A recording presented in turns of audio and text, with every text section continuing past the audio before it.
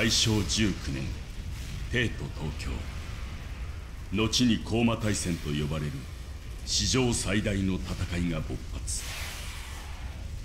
帝都パリニューヨークの歌劇団はその脅威に果敢に立ち向かいそして世界は救われた。